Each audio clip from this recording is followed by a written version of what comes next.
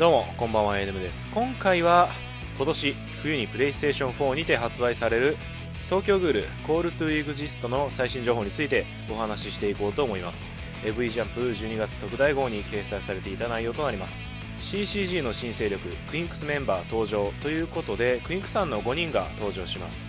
佐々木愛生については以前より PV などでお披露目されておりプレイヤブルキャラクターとして登場することは分かっていましたがウリエムツキ知らず最古の4人も登場するようです。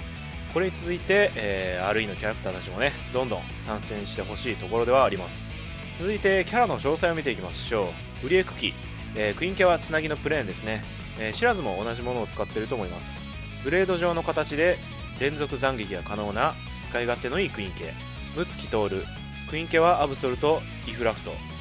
小回りが効き手数を生かした素早い連続攻撃で敵を切り刻む。佐々木敗勢クイン家は雪村3分の1素早い斬撃による攻撃が可能。必殺技では周囲の敵を吹き飛ばす。米津最古クイン家は撲殺2号。隙も大きいが一振りの威力が高くチャージ攻撃もできる。以上となります、